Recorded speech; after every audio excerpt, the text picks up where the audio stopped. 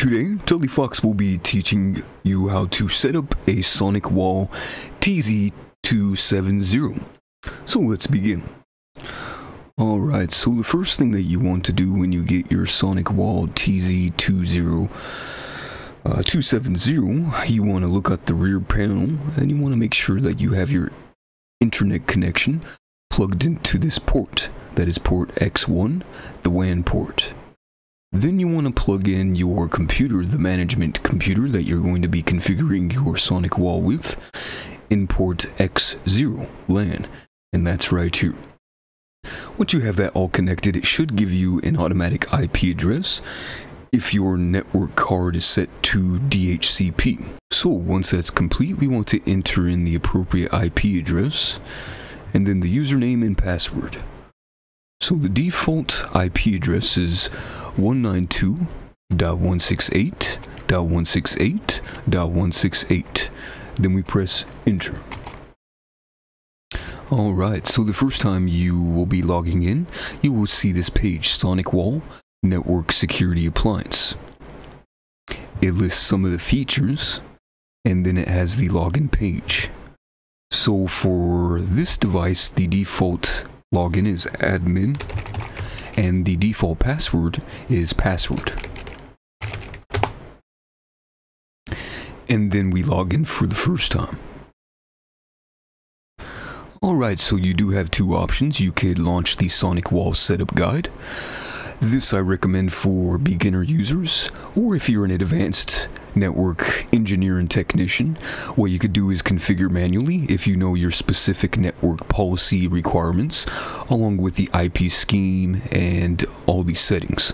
But for our case scenario, we will be setting up with the setup guide. So let's click the top one here. Okay, and now it's listing some information. So it says, what? Welcome to Sonic OS Startup Guide.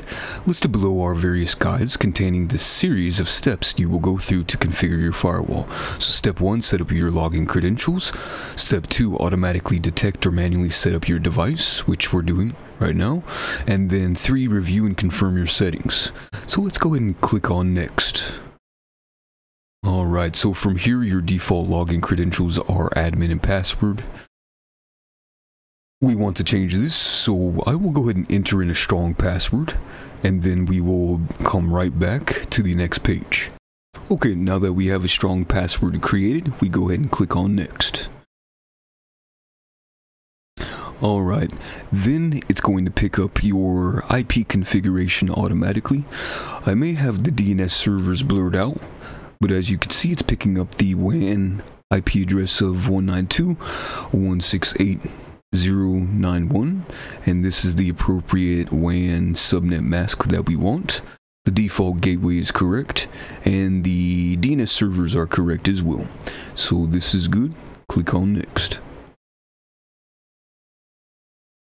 Alright, and then at the bottom it says automatically secure crash analysis reporting. We want to have that checked and then periodic secure diagnostics reporting for support purposes. Go ahead and have that checked and then click on done.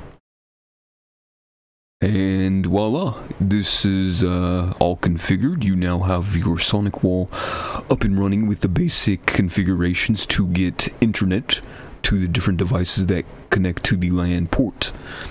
So now that we have that completed, what we want to do is register our device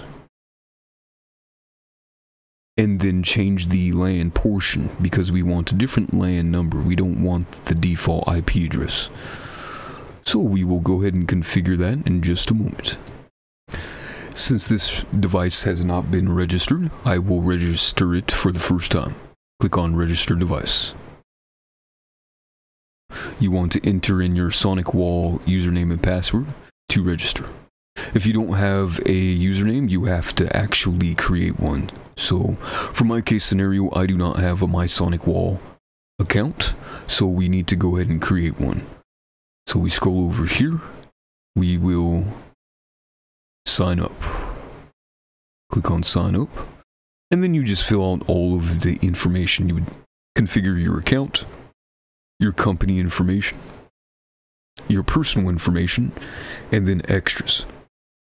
Me personally, I will not go through this process through the video because there is some private information that I do not want viewable in the video. So we'll go ahead and get back to the next slide after I complete this form and sign up. Alright, so now that we have my Sonic Wall account created from this website over here, I can enter in the username and password. So I'll do that and then we'll register this device. We'll be back in the next slide. Okay, now that we registered the device, you can see our product uh, company name here. You can see my name right here with the company information. Um, and then you have license. So how Sonic Wall developed their security programs for their operating system is it's by the license. So if you want extra security for your business and your network, you're going to have to actually purchase each license. And each license actually, I do believe, expires every year. So you have to renew the license every year. And the fee for a general license from Sonic Wall is about, I think, $200. So if you wanted the threat protection suits, um, you wanted the essential protection, all this stuff, you would have to purchase the license and then you would have to go ahead and get it licensed. So the only thing that we have licensed is the hardware warranty until December 20, 2022. Um, we have remote implementation service, which is unlicensed, but we could activate. And then we have a global VPN client, and then SSL VPN. And so that's licensed. Let's see. Let's click on this to see if we can get any information. So yeah, that's basically it. Now that the device is completely registered, we want to go ahead and configure the basic IP settings for the LAN. So let's do that now. So this device is a little bit new to me. I haven't had a lot of experience configuring such devices, but what we will do is go through each setting and I will try to give you guys a demonstration on how this device works and how to configure each part of the device. Alright, so let's go to home and then we want to go to, I do believe, network. From here we want to configure the main IP address of the LAN zone. And we want to make sure that the IPv version 6 is disabled. And so let's see. It's already configured. So we'll just go ahead and leave that blank for now but under the IP version 4, we want to change the LAN settings to reflect the appropriate IP address. So let's go ahead and do that now. Okay, so once we click on the interface, click on the IP address, and then you want to click on this little pencil icon, edit this interface. From here, you're able to edit interface X0 this is the LAN port. And what we want to do is assign the appropriate IP address of 10.13.0.1. We will keep the subnet mask default. The default gateway we could leave 0 default. And this will be the default LAN domain name we could add. So it says, in this field, it is used to bound an accurate domain name with all web services provided by this interface. The value can be one of the following. A fully qualified domain name address, so your company name, or a string address, so an IP address. When configured, all web access along with SSL VPN services should be accessed via only the domain name. Any other attempts ought not to be allowed. Note that the access via exact IP address is implicitly trusted whether the field is set or not. To enable this feature, make sure enforce HTTP host header check on is administrator page is enabled. Alright, so once again this device is pretty powerful, so what we want to do is give it a domain name of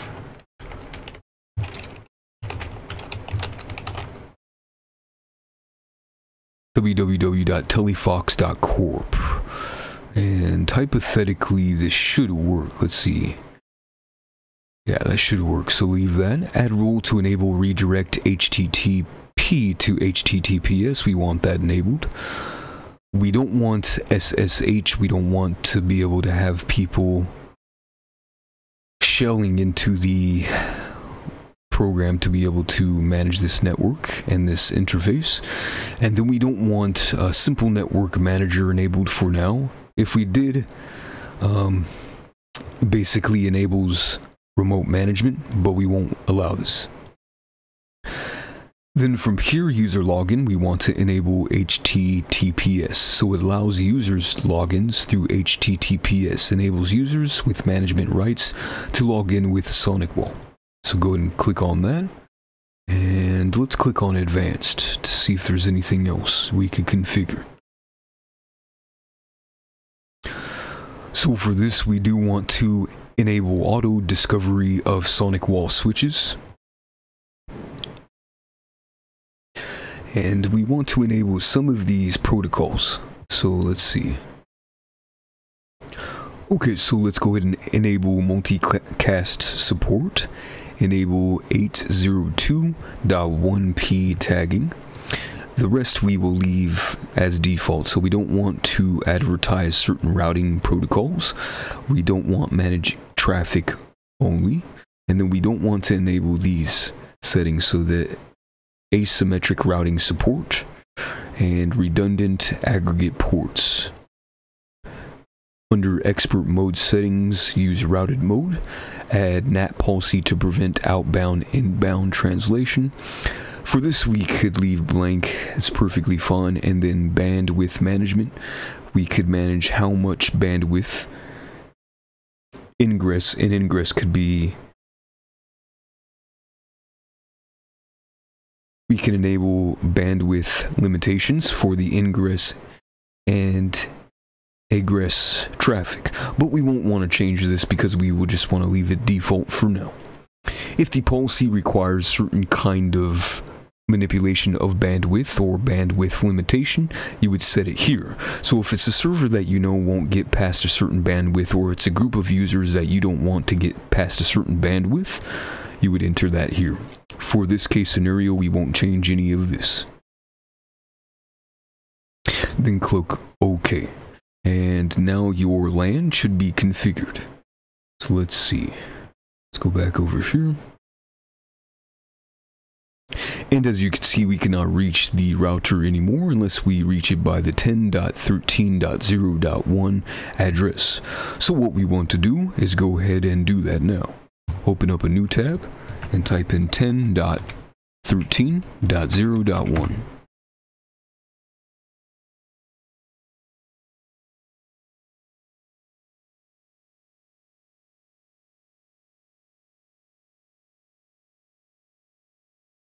Okay, as you can see, we're able to get to the 10.13.0.1 address. So now what we want to do is click on Advanced and log in for the first time with that new IP address that we set. So I'll be right back. I need to enter in the username and password, and then we will be logged in for the first time.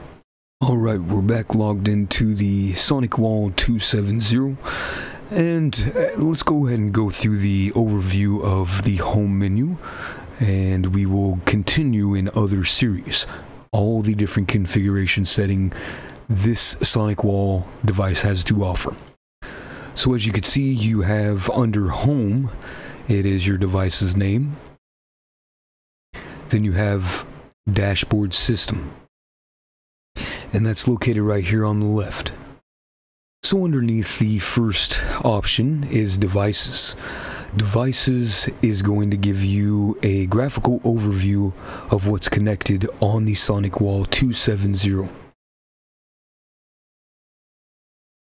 So as you can see, it's giving a status of the power, um, of the firewall status, along with the LAN management connection and WAN connection. Now, each port is not configured yet, so we will have to configure that in just a moment.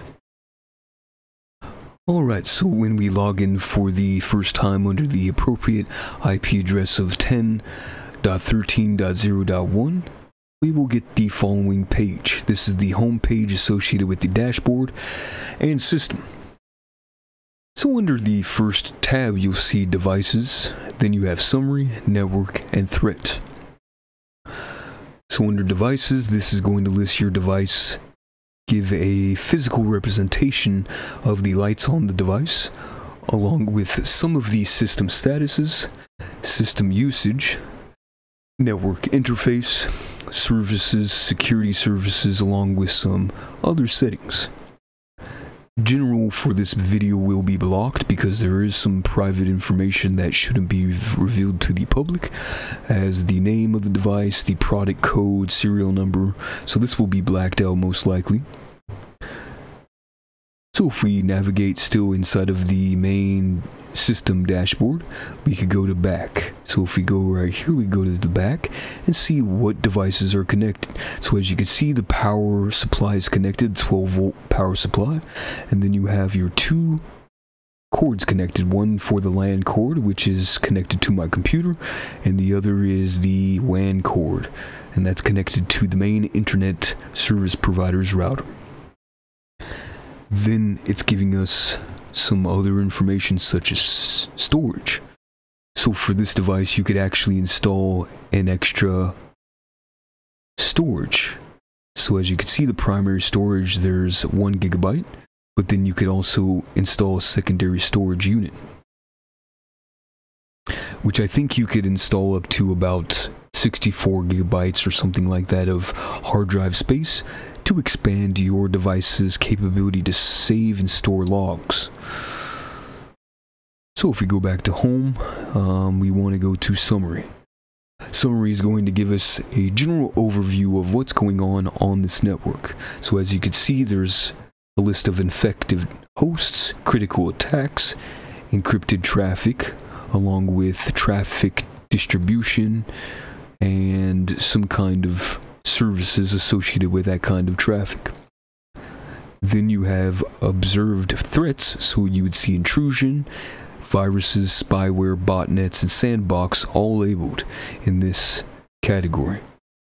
Then you have top countries that are attacking your device, along with top users and their block sessions. Next is the network overview. Network overview is going to give you some information about your traffic along with the kind of devices that are connected. So as you can see, there's a few devices that are connected. This one, um, it looks like is an IP address, probably of SonicWall. Then you have an IP address of another device, most likely some servers or web servers online. And then you have some top users. So you have admin and then unknown users. So it really does give you a nice graphical overview of your network kind of traffic that's running, along with the IP addresses associated with sessions. And then last but not least is threats. So as you can see, there is no top intrusions, no spyware threats, botnet threats, or viruses, and that's because this device has just been configured. Over time though, as I deploy more systems on this sonic wall, there most likely will be threats bound to take place. So you would see that in this graphical user interface here. So that's all we're going through with Sonic Wall today, the basic setup, going through the summary page and the device dashboard system overview. Like I said, this device is for advanced users. It's a next generation firewall, so you're able to really provide high security to your company and your network by implementing this device. We will go through some of the other configuration settings and future videos. But for now, we're to leave it off here. If you enjoyed this video, please like, and don't hesitate to contact Telifox for all your consulting needs. You have a good afternoon.